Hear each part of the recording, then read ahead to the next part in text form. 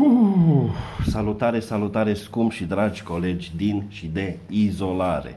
Domnule, toate ne sunt interzise în perioada asta. Mai rămâne să ne interzică oftatul și ne-au pus la pământ. La începutul acestei perioade de izolare aveam un oftat ușurel așa, pe nas. Adică o să treacă. După câteva zile a apărut oftatul pe gură. Și acum, de câteva zile, a apărut oftatul combinat, care iese și pe nas și pe gură, ceva de genul cei la mine în casă, cei la noi în casă, bă, parcă soacră mea e cuctă, eu samovar de la rusesc și copiii ăia mici parcă ar fi ceainice. Domnule, dacă interzic și oftatul, am terminat-o. Nu mai, bă, și mai îl vezi și pe ăla, cum îl cheamă, pe Cercel, care vine cu chestii de genul că punem trei luni în izolare separat pe toți seniorii, vorba lui Becali. Eu când auzeam așa știre, imediat scuipam televizorul. O fost nevoie să iasă președintele țării să-l pună la punct pe Cercel. Vorba românească, un nebun aruncă o piatră și 10 înțelepți nu o pot scoate. Trebuie să ne, trebuie să ne ferim, într-adevăr, că mai nou coronavirusul vine și pe poștă. Vine și pe poștă, că o poștăriță a dus coronavirusul la mai multe uși. Din ușă în ușă a mers și a mai lăsat și câte un pic de COVID pe acolo, cum ar veni, a făcut o poștă cu COVID-ul. Ce să facem? Asta este. Începe școala de azi. Copiii se reîntorc în bănci. Ai, pe vremuri, când veneau din vacanța asta de primăvară, atâtea povești, primele două, trei zile nici nu puteai să ții lecții, că aveau de povestit ce au făcut în vacanță, unde au fost, ba mai mulți, unii nu veneau, începea școala de miercuri, ei veneau numai de luni. Am fost stiți în vacanță cu părinții, n-am reușit să venim până acum din Austria.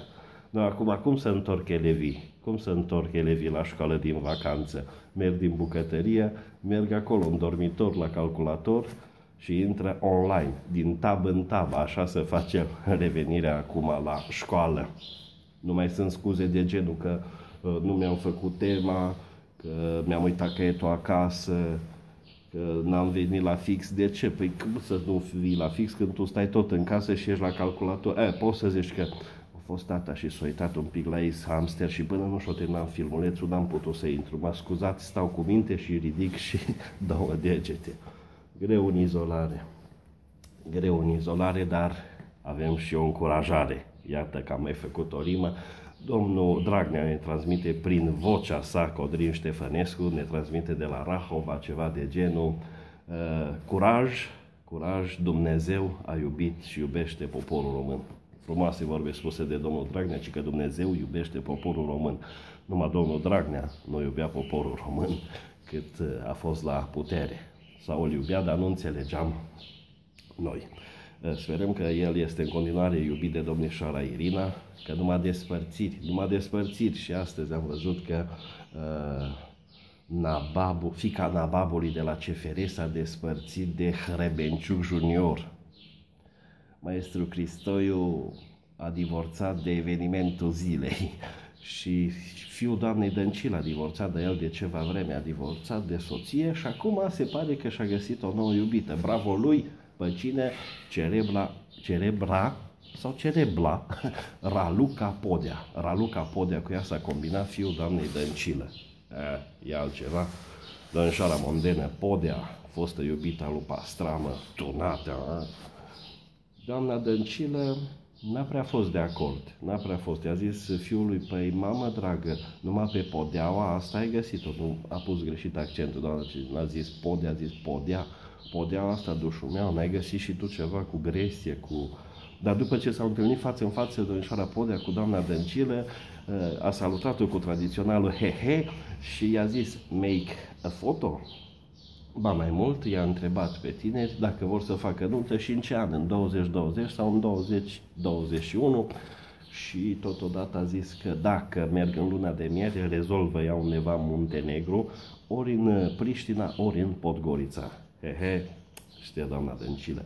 Tunate 20.000 de euro băgara Luca Podea ca să arate așa cum arată. Nici nu știu cum că nu m-am mai uitat de mult la Capatos. Da, 20 de mii, uh, și-a făcut recent și o rejuvenare vaginală, cum ar veni, și-a dat kilometraj un pic peste cap, silicoane de câte un kil fiecare, cum ar zice domnul Taia, bravo, Pepen românești de adevărați, ai grijă, cormorane, ai grijă de această fată simbol a frumuseții românești. I-a transmis și domnul Daia, care vreme acum că nu se mai ocupă de agricultură. Din păcate, pentru că la agricultură eu cred că domnul Daia se pricepea așa șugubăți cum era el. Nu vă mai rețin, o zi frumoasă, i-am luat geaca, plecăm iarăși să refacem proviziile, că Paștele au trecut, dar mai trebuie ceva de mâncat și în săptămâna asta. O zi bună, dragi colegi de izolare!